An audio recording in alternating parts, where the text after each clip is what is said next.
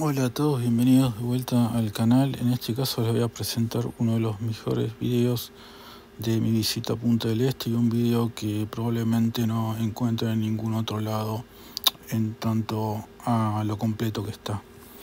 Eh, es la vuelta completa a la península de Punta del Este, que se realizó más o menos en unas tres horas, como dice en el video, eh, haciendo paradas que van a ser como spin-off en lo que es la punta de las salinas, que va a tener su propio video, en lo que es eh, las mesitas, que figura por acá, que es un lugar muy poco conocido.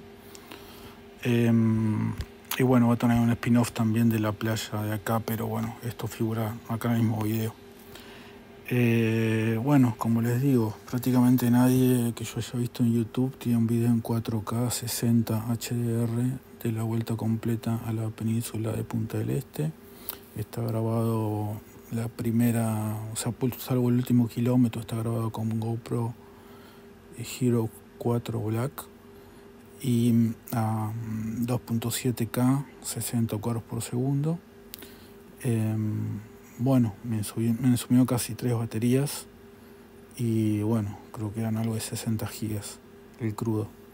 Pero bueno, está completamente estabilizado y bueno, es de lo mejor que van a ver en el canal, digamos, eh, salvo lo de las chicas de mm, la zona de Bikini Manantiales. Esto es lo mejor del canal y además es un documento que tiene hasta un cierto valor histórico porque prácticamente nadie caminando hace la península completa, normalmente hacen walking tours, pero son todos parciales. Así que bueno, ahora voy a tratar de poner eh, marcado parte por parte, pero bueno, Ojalá disfruten el video y voy a hacer como el otro video de comentar cuando es importante comentar y si no dejar directamente para que lo disfruten si tienen algún tipo de gafas de realidad virtual. Bueno, y acá tenemos un poco una preview de lo que va a ser el recorrido, que arranca en la parada 1 de la Mansa y termina en la parada 1 de la Brava, recorriendo prácticamente 5 kilómetros. Acá estamos viendo lo que es pasar la playa del Emir y la playa de los ingleses. Vamos a llegar pronto a Isla Punta de las Salinas, el límite exacto entre Río de la Plata y el Océano Atlántico, que va a haber un video especial sobre esa parte. Ahora nos vamos a acercar a las mesitas, va a haber otro video también especial sobre esa parte. Acá les recomiendo la parte del puerto, que es muy linda visualmente, realmente muy hermosa para ver. Eh, y bueno, acá continúa a lo que es una de las primeras playas de lo que sería la bahía de Maldonado, antes de llegar a la parada 1 que también va a haber un video especial. Y termina acá en lo que sería la oficina de turismo. Esto ya es el comienzo del recorrido. Este recorrido se realizó entre la 1 de la tarde y las 6 de la tarde aproximadamente, un día 8 de enero del año 2013. Acá estamos arrancando por la parada 1 Esta rambla fue inaugurada el 23 de febrero de 1979 junto con la terminal de ómnibus de Maldonado que también se ve en otro de los videos.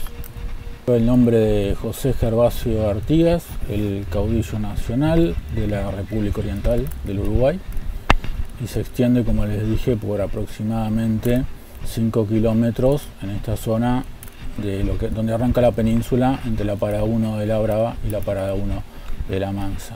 En cuanto a la radiación solar fue tremenda, por eso me van a ver varias partes del vídeo así poniéndome justamente protector solar, pero bueno, por el tema de los tres años de sequía y por diferentes factores climáticos, eh, por, por ejemplo haber mucho viento y faltar nubes, el índice V la mayoría de los días estaba alrededor de 13, que es un, índice altísimo. Van a ver durante el recorrido gente de todas las edades, aunque uno nunca sabe si van a dar la vuelta completa. Lo que sí les recomiendo es em, llevar muchísima agua, obviamente protector solar y tener el celular con batería y demás por cualquier cosa. Es pleno centro de Punta del Este, pero bueno, uno nunca sabe cuándo bate una emergencia y en las playas de, del límite prácticamente no hay nadie. Son playas prácticamente desiertas.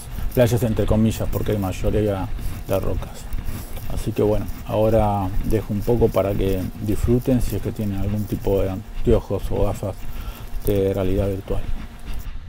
Antes de cerrar, eh, lo que me sorprendió muchísimo y lo van a ver acá es el parque automotor de este lugar. Van a ver unos autos espectaculares, absolutamente de primera línea. Así que bueno, para los que son fierreros también pueden disfrutar bastante eso.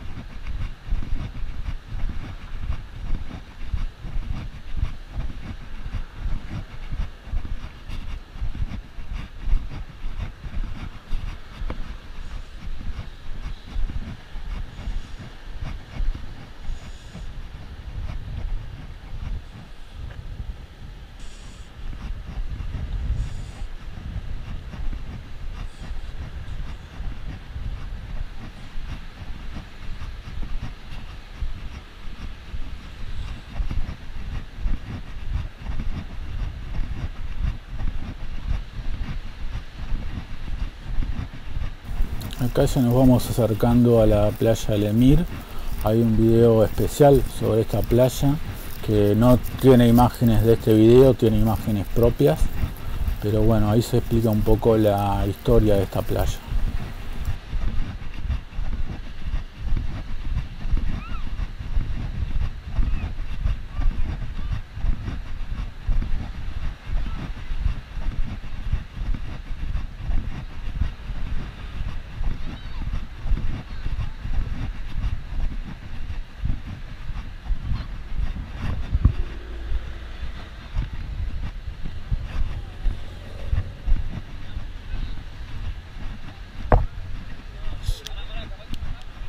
Gente que va a esta playa es bastante clásica, no van a ver los grupos de chicas y chicos que se encuentran del lado de la barra de José Ignacio, el tipo de gente que va acá es otra clase de gente, yo la compararía quizás a la playa La Perla en Mar del Plata, una cosa así. Va mayoritariamente gente mayor o gente que quiere estar sola tomando sol.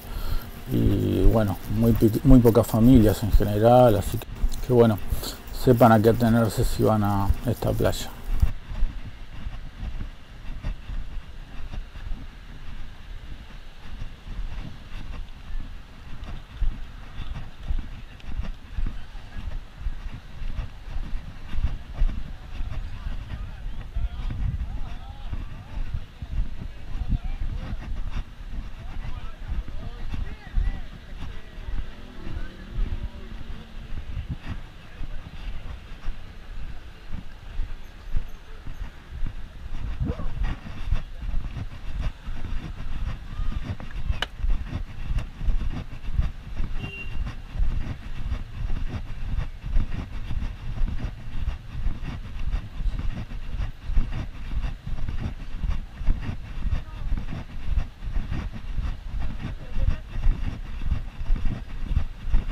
Como dije en su respectivo video, es una playa súper céntrica.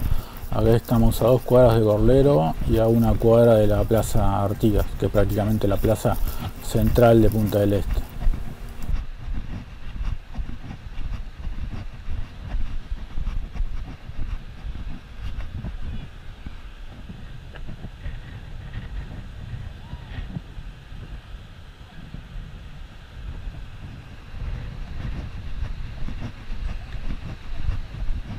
O sea, la típica gente que va acá es la que tiene un departamento ahí desde hace 50 años, quizás más todavía, y dice, no, yo solamente cruzo y voy a la playa y no, no me interesa la movida teen, ni me interesa la movida de celebridades, ni la movida, digamos, top de lo que sería la barra José Ignacio, para ese tipo de gente como súper tranquila, que no esté interesada en el perfil alto. Pero bueno, gente que va ahí, ¿no? Uno que va cada muchos años trata de aprovechar lo más interesante que justamente eh, lo que es eh, la zona de la barra, las playas de Montoya y Manantiales, donde está la mejor movida, digamos.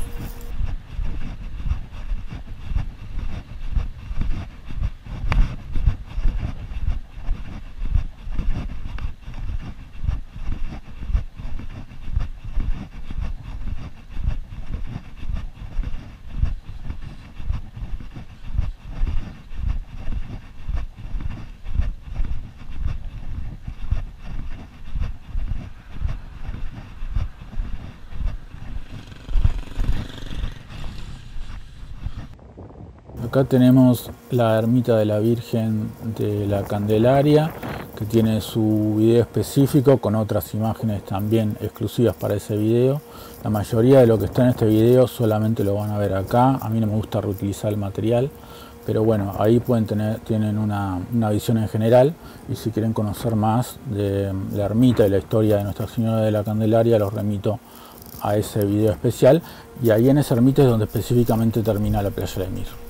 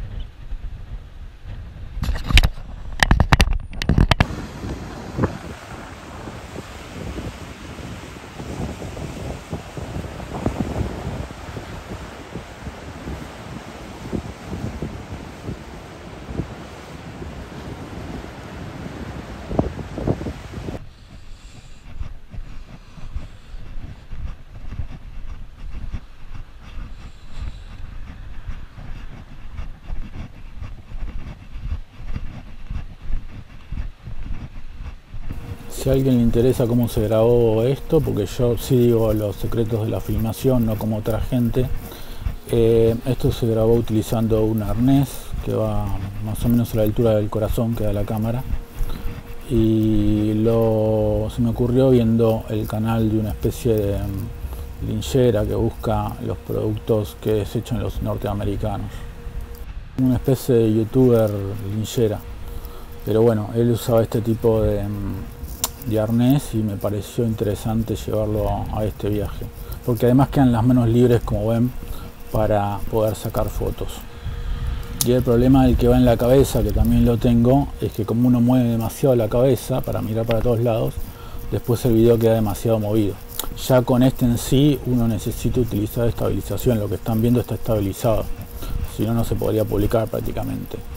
Pero bueno, les recomiendo usar este tipo de, de arnés si quieren lograr un video parecido a este y no el de la cabeza porque va a salir muy mal.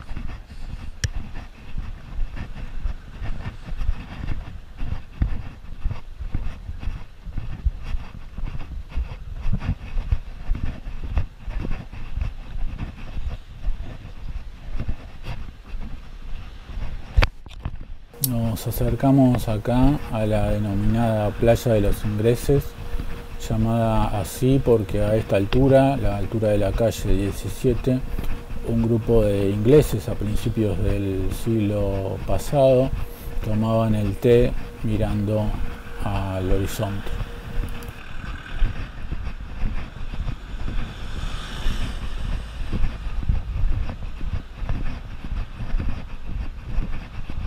Es una playa bastante corta, tiene arena muy fina y es bastante rocosa, por lo que en general es bastante peligrosa para bañarse.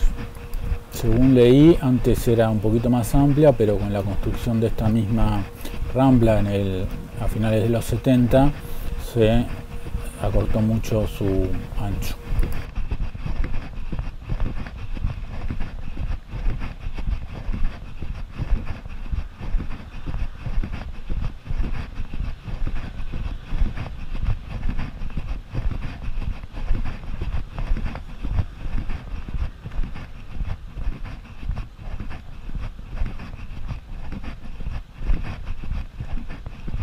En cuanto a la conformación social es muy parecida a la de la anterior playa, no esperen muchas milipilis por esta zona, o sea, es una playa, como a pesar de estar en pleno centro de Punta del Este, eh, es una playa bastante solitaria, muy pequeña,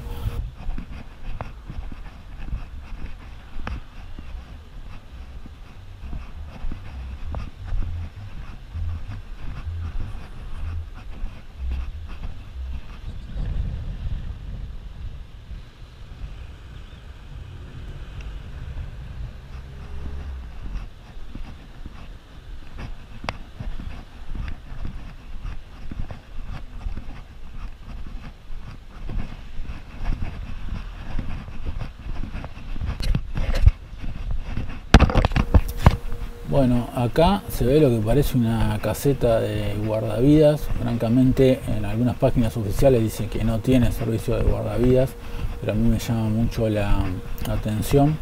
Eso queda por confirmar. O sea, porque lo malo de hacer periodismo y divulgación en internet es que siempre aparece uno que es experto en el tema y lo corrige a uno en la más mínima minucia Así que bueno, pero bueno, chequenlo antes de ir, chequenlo exactamente si cuando visitan esta playa, está, chequenlo con la parte de turismo, si está habilitado el servicio de guardavidas y hasta qué hora, porque por más que no lo parezca, es una zona muy ventosa y muy rocosa, así que es bastante peligroso.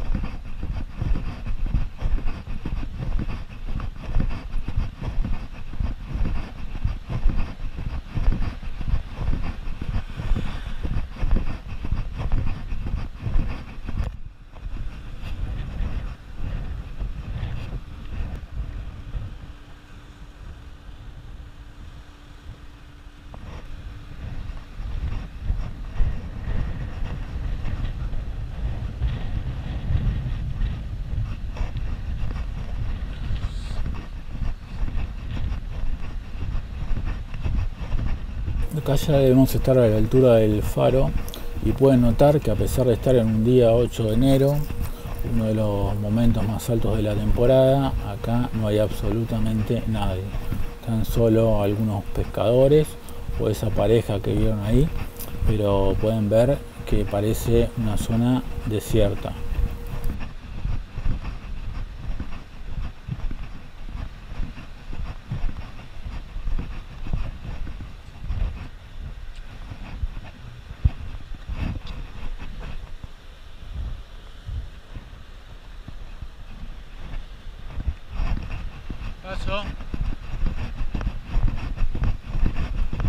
Bueno, es importante, me lo enseñan de chico, cuando vayan pescadores siempre fíjense si están por tirar la caña o griten como yo, que van a pasar, porque, eh, bueno, pueden tener cualquier tipo de accidente con el tema del anzuelo.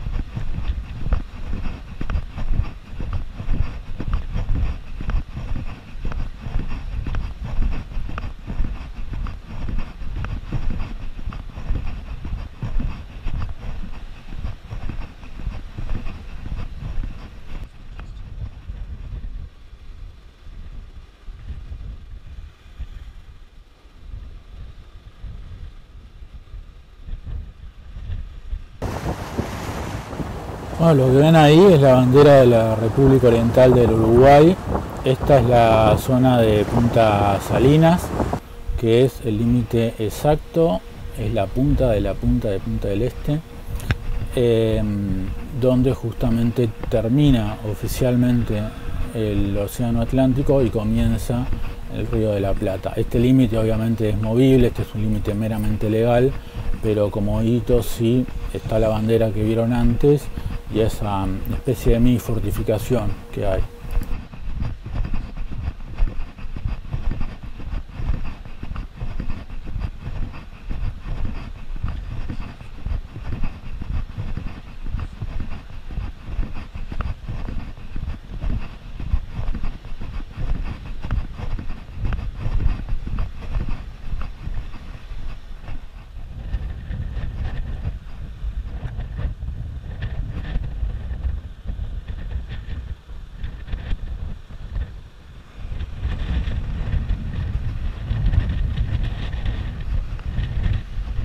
Acá en esta zona comienza a haber cada vez más viento. Acá yo creo que debía tener ráfagas tranquilamente de 60 kilómetros por hora, sumado a que había viento en general en cualquier playa de Punta del Este, por las cuestiones climáticas que mencioné al principio. Pero bueno, imagínense que acá se junta el Océano Atlántico Sur y lo que es el Río de la Plata, que vendría a ser como un gran estuario de los ríos Paraná y Uruguay.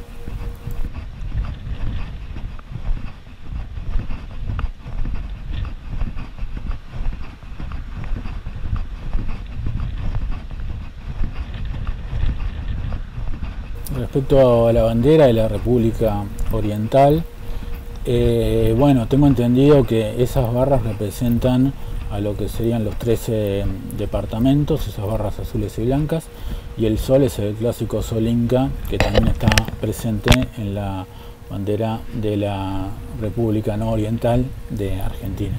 En realidad se le llama República Oriental porque en su momento era una provincia y era la provincia oriental y después cuando fue una república y se separó de lo que era la Confederación Argentina, quedó como República Oriental. Históricamente fue una zona de disputa entre españoles y portugueses. De hecho, a ellos les llamaban la provincia cisplatina, la provincia de este lado del Plata, a, esta, este, a este lugar, a esta región del Uruguay, este país. Bueno, esta es una plaza que hay acá en Punta Salinas para conmemorar ese hito que es la división entre el Océano Atlántico y el Río de la Plata. Y lo que ven enfrente justo al lado, esa parte verde, es la Plaza de los Ingleses, que conmemora la batalla del Río de la Plata, que eh, se eh, disputó entre el Ajax, un buque inglés, y el Graf Spee, un buque alemán.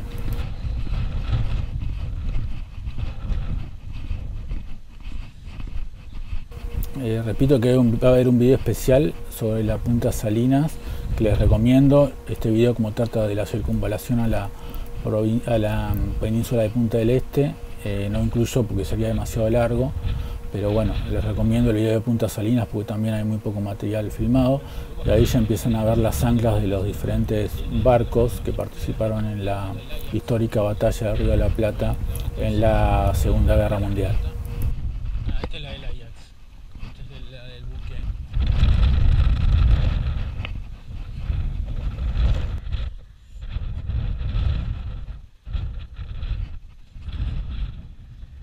Se ven las anclas de sendos buques y acá ya salimos de esta plaza de los ingleses para continuar con el recorrido.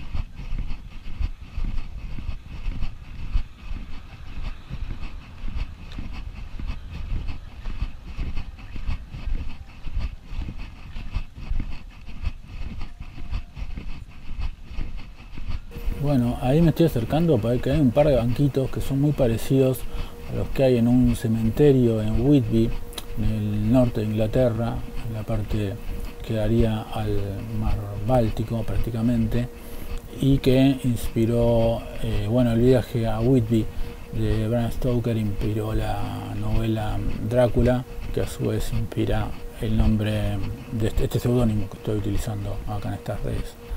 Pero bueno, ven este banco, me hacía acordar mucho a esa imagen de Mina y Lucy en el acantilado. En este caso no tan alto, ni había muertos debajo, pero me hacía acordar muchísimo a eso porque además se llama Plaza de los Ingleses. Así que bueno, quería hacer ese comentario.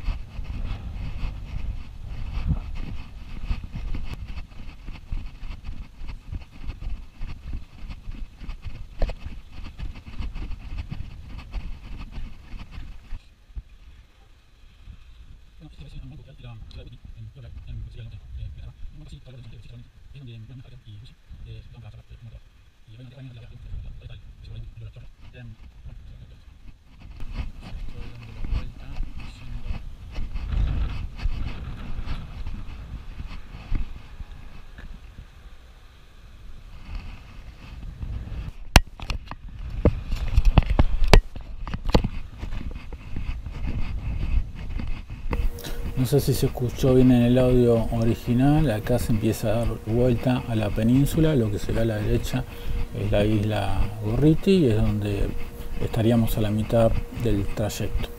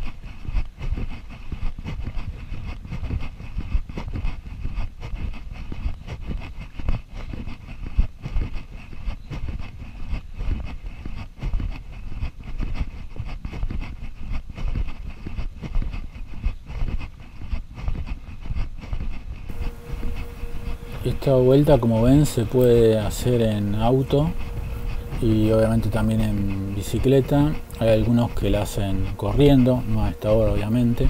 El único problema es la zona donde uno llega al puerto, donde bueno, empieza a tener más obstáculos, tanto personas como cosas o edificaciones. Pero para dar la vuelta completa hay que hacer este mismo recorrido que es parada 1 a parada 1. Esa es básicamente la vuelta completa a la península de Punta del Este. Si le dan otro tipo de vuelta o parece otro tipo de video, no le dan caso porque no es la vuelta completa.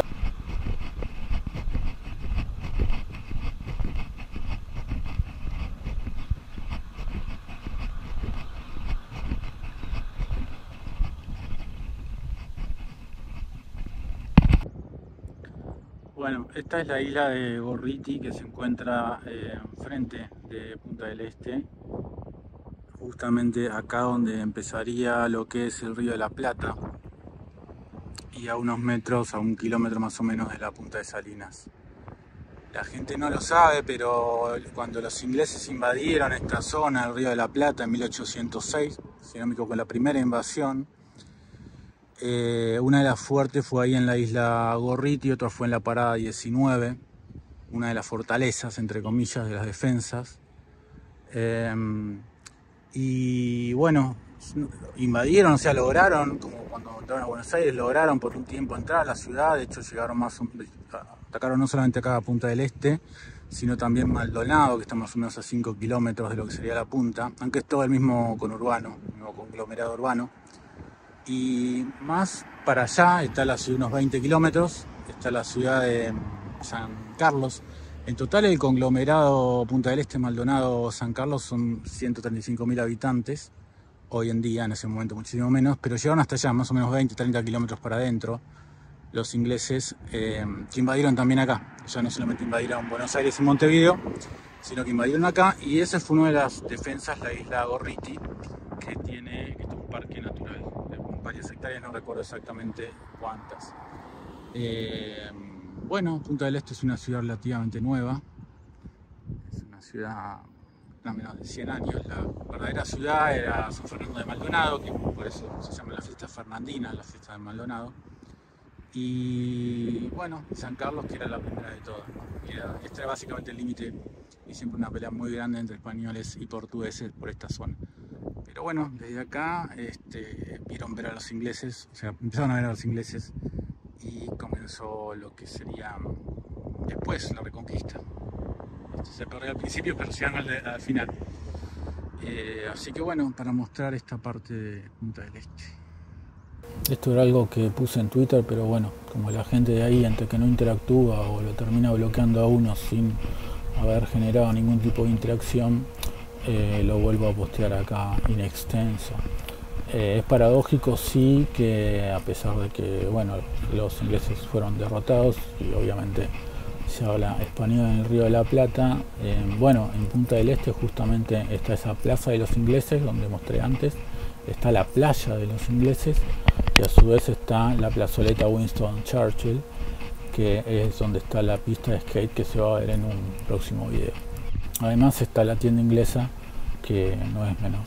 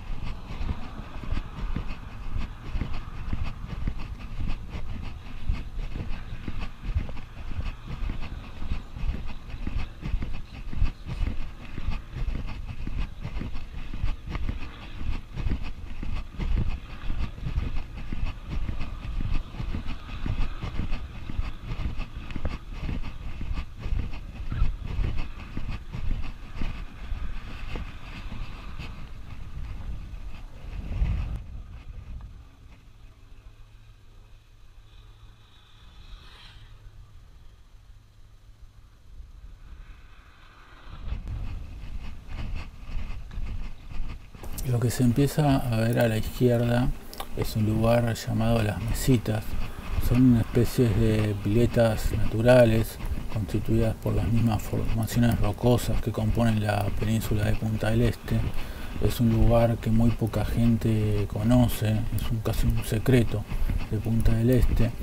Eh, se va a mostrar en un próximo video, formó parte de este mismo trayecto, pero para no hacer más largo un video que va a tener casi 75 minutos, preferí cortar este segmento, pero les recomiendo ver específicamente el video que trata de lo que estamos viendo a la izquierda, porque es una zona hermosa de Punta del Este donde se realiza buceo, donde uno puede estar tranquilo porque va muy poca gente, ya les digo, es un secreto, no se lo cuenten a nadie. Pero bueno, esa escalinata que estamos viendo ahí es por donde se ingresa a esa playa.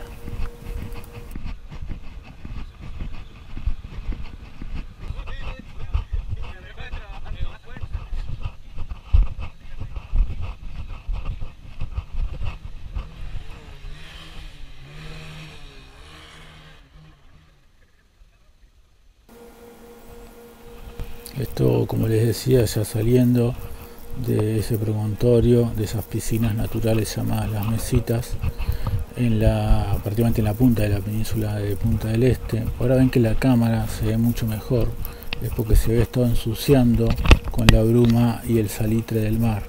Así que si hace alguien este recorrido de vuelta, un recorrido similar por litorales costeros, tengan en cuenta eso, de que no se les ensucie la carcasa de la GoPro o de limpiarla cada 10 minutos o algo así para que la imagen no se vea borrosa.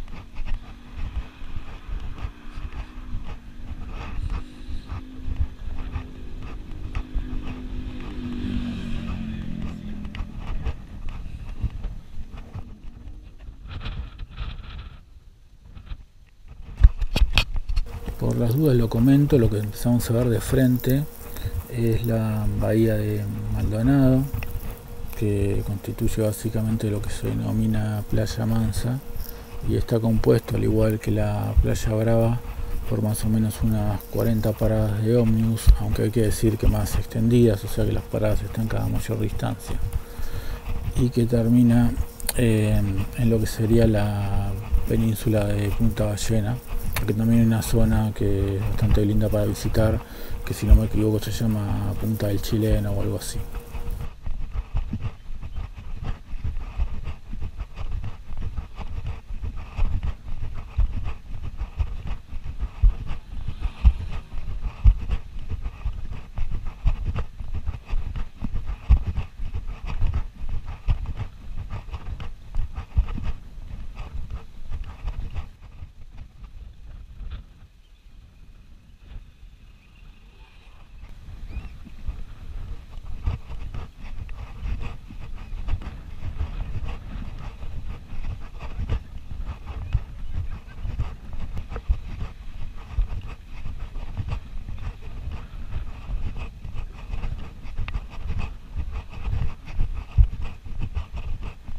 También una cosa que había olvidado mencionar al principio respecto de las protecciones, la cuestión de llevar un sombrero. Ahora hay sombreros de alas medianamente anchas que no solamente son los clásicos sombreros visera, sino que son sombreros em, tipo pescador que también eh, cubren la parte de atrás de la nuca y a su vez tienen ventilación. Eh, esos también son necesarios para recorridos de, este, de esta distancia bajo el sol.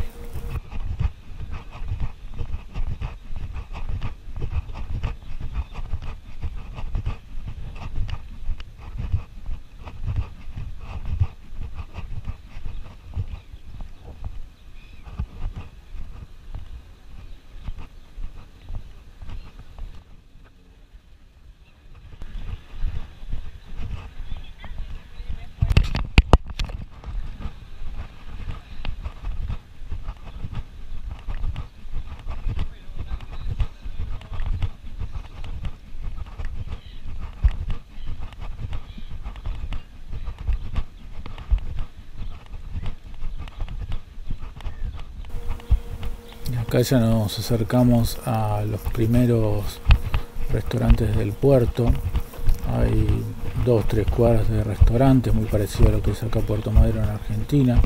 Son restaurantes prohibitivos. Imagínense que si ya un restaurante estándar de Punta del Este cuesta tres veces lo que cuesta acá en Argentina, eh, bueno, tranquilamente un restaurante de esto puede estar costando arriba de 50 dólares por persona sin incluir el vino, obviamente.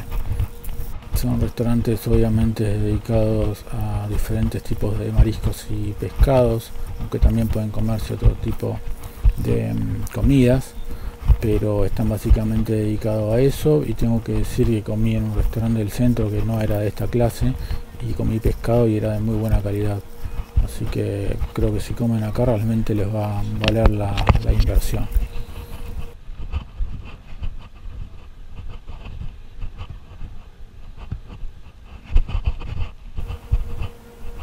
Acá del puerto salen diferentes tipos de lanchas, ahí es donde estoy tratando de hacer una pequeña vista. Eh, salen diferentes lanchas a la isla de Lobos, la más común es a la isla de Gorriti, aunque también se pueden rentar eh, en grupo yates que hacen algunos recorridos específicos. Bueno, hay todo tipo de opciones, así que les recomiendo que si llegan se informen bien en la oficina de turismo, porque hay un montón de opciones náuticas de toda clase, desde kayak el surf, motos de agua, hasta ya les digo, rentar un mini yate. En su momento se decía que la marra costaba acá alrededor de 10 mil dólares por mes en temporada alta, ahora calculo que los precios deben ser mayores, pero a mí en lo personal, por más que mucha gente se va a enojar, me hace acordar mucho a, a Mónaco, al centro de Monte Carlo, esta zona por el nivel de lujo y los yates que se ven de personas multimillonarias de prácticamente cualquier lugar del mundo. Y acá ya empezamos a encontrar gente, por eso les decía que este recorrido, si lo quieren hacer corriendo, es medio complicado, porque en este caso, bueno, con una bicicleta capaz no habría problema, porque uno puede ir por la calle, pero corriendo acá se tendría que estar frenando y, demás. Ahí vemos lo que podría ser la primera milipili que vimos en este trayecto de ya 51 minutos. Eh, lo que denota un poco el tipo de gente que va a las otras playas en general, gente más grande, parejas, algunas con chicos muy chicos que quieren tranquilidad y no andar tanto en la, en la movida. Acá en el puerto hay muchísimos boliches nocturnos, son bastante caros, debo decirlo, y en general algunas veces va gente muy mayor, pero bueno, eh, es una experiencia también visitar los diferentes boliches de acá.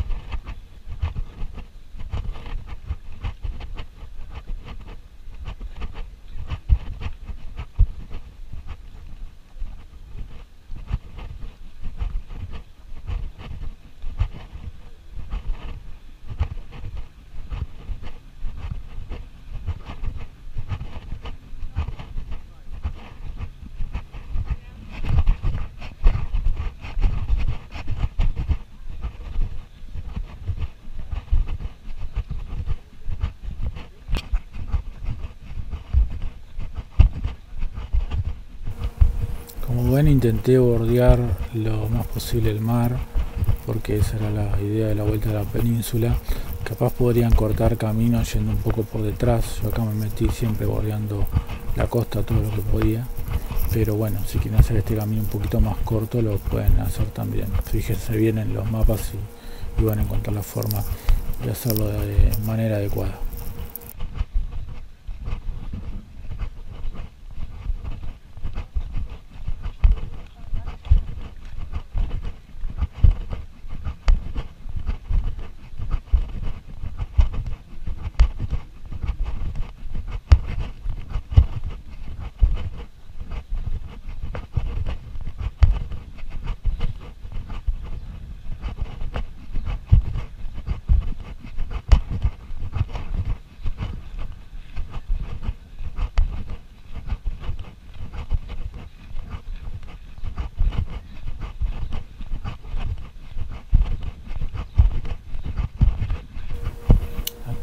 yendo para, el, para la derecha, o sea, en vez de doblar para la izquierda, donde voy a doblar ahora yendo para la derecha, está en la, la cuadra en donde están los boliches más importantes de la zona, como Manantiales Point, Soho o Moby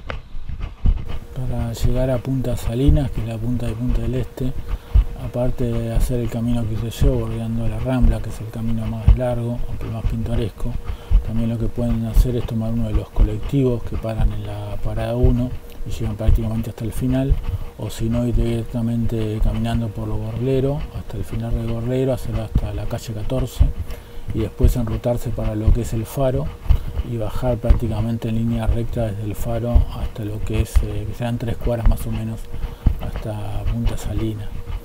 Eh, es otra forma para que no tengan que mm, caminar tanto y puedan llegar a ese lugar.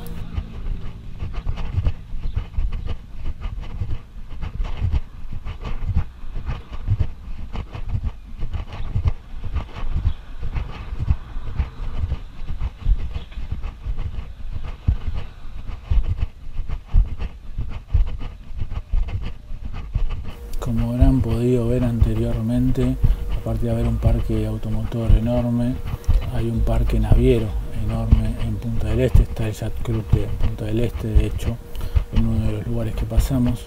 Hay una persona caminando para atrás para que no se le vea la cara, se ve que es una persona famosa o al menos que se cree famosa. Pero bueno, les iba a decir que mucha gente, es muy común, son muy comunes los deportes náuticos en la zona norte del Gran Buenos Aires, por ejemplo. Hay mucha gente que le gusta hacer estos recorridos en su propio yate, Buenos Aires, en Punta del Este que calculo que llevará por lo menos unas 12 horas. Siempre está esa disputa entre la llamada telurocracia o la talasocracia. Una es la que da predominio a las zonas internas de la Tierra y otra es la que da predominio a los mares.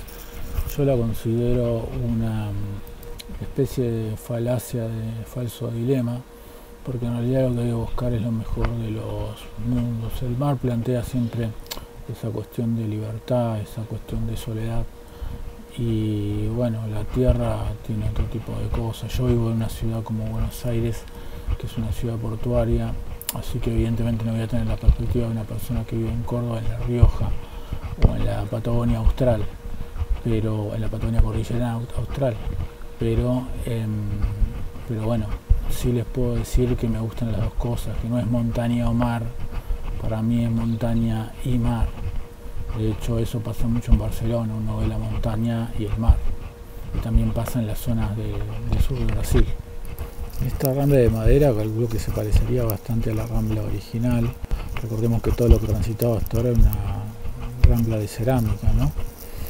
Em, pero bueno, em, respecto a lo que les decía, Básicamente se representa al imperio romano como el imperio telurocrático por excelencia y al imperio, o, lo que sería el periodo helenístico, la expansión griega, eh, como em, lo que sería la talasocracia. ¿no?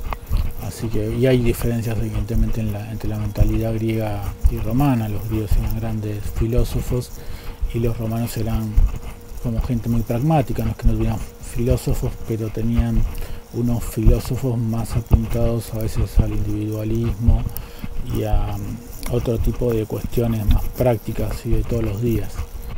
El genio griego siempre se valió de diversidad. Cuando uno lee desde los primeros de los presocráticos hasta lo que es el pensamiento mm, helenístico, bueno, uno va a encontrar diferentes escuelas opuestas, pero uno va a encontrar lo que se llama un gran enciclopedismo eso no se encuentra tanto en el pensamiento romano, ¿no? es un pensamiento más como de, estoico, epicuro, pero siempre enfocado en lo individuo. En cambio los griegos eran de pensar más en lo universal, porque justamente navegar les permitía conocer diferentes culturas. Creo que los griegos eran superiores intelectualmente, por lo menos en lo que es el pensamiento abstracto. Y creo que modernamente esa dialéctica se da entre los alemanes y los británicos. Los británicos son por excelencia em, talasocráticos y los alemanes son más bien telurocráticos y unos se enfocan más en las cosas prácticas y otros en las cosas más abstractas.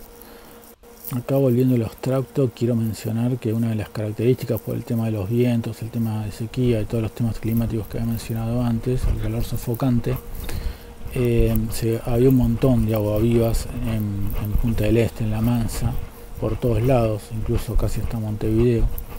Em, así que bueno, tienen que tener cuidado eso si van por, por esta zona con un clima similar.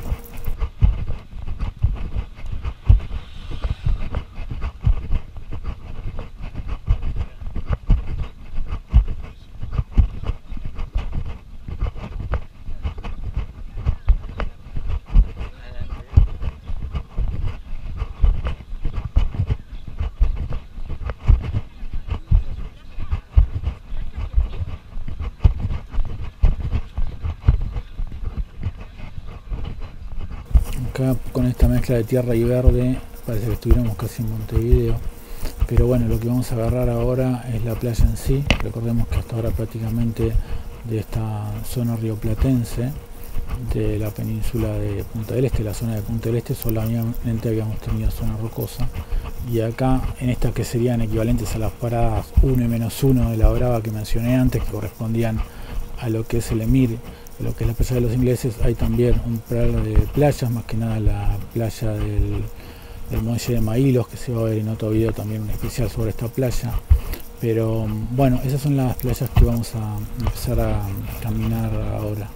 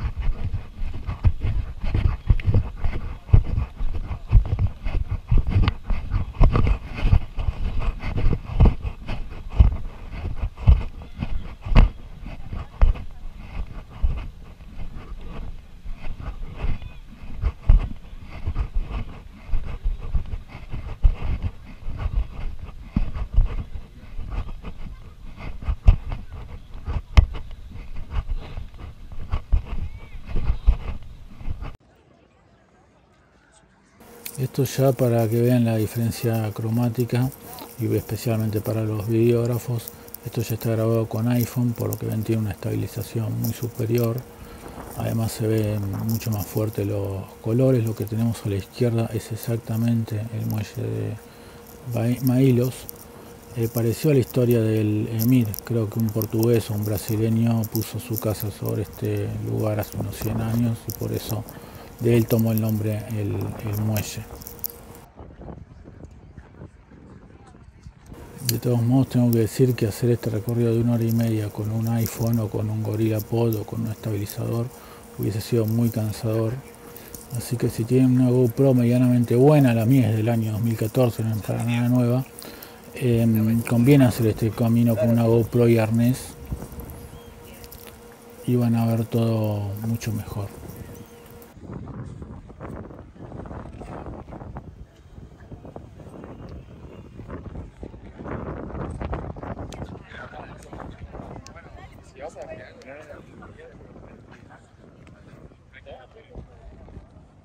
Esas que vemos al costado, después de casi una hora y media, son las únicas milipilis en grupos que vamos a ver en todo este trayecto. Esto para que se den una idea de la clase de gente que ve estas playas y no se lleven ningún tipo de decepción y digan que este servidor no les avisó antes.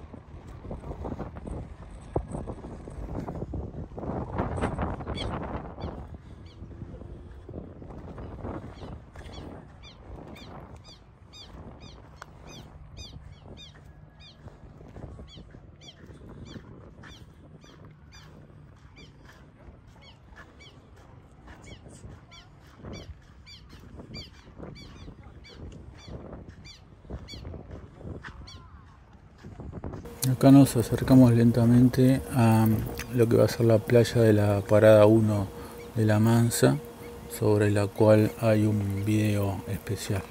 Pero bueno, acá estamos ya prácticamente ingresando a esa playa.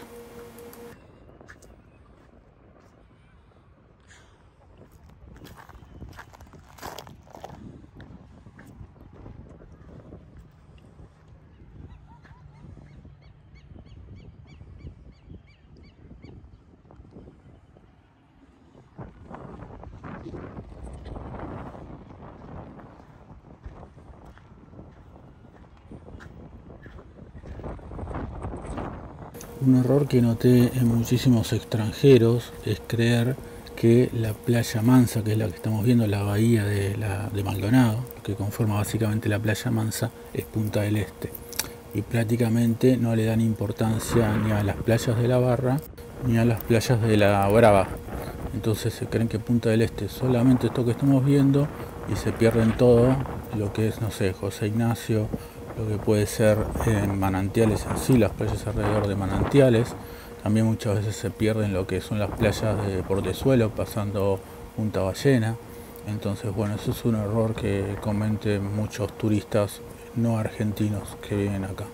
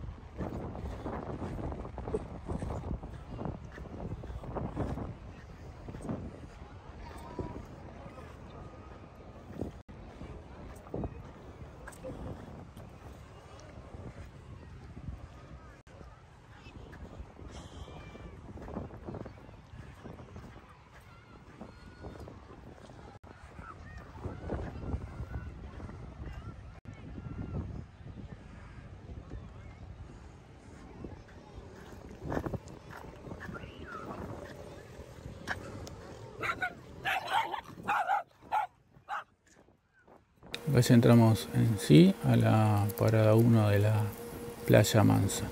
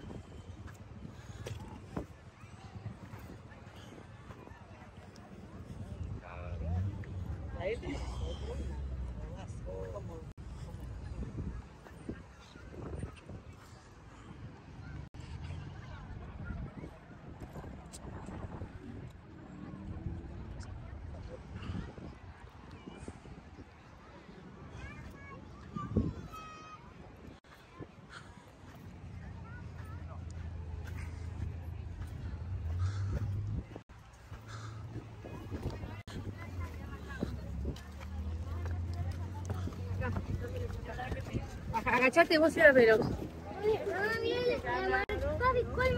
Bueno, acá se termina después de dos o tres horas la vuelta a la punta. Esta es la parte de turismo. Esta es una de las primeras paradas de la plaza Mansa.